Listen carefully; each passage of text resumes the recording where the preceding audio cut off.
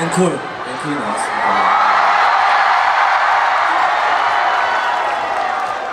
아, 마지막 곡 여러분들이 나에게로 떠나는 여행을 네, 너무 열심히 따라 불러주셔서 네,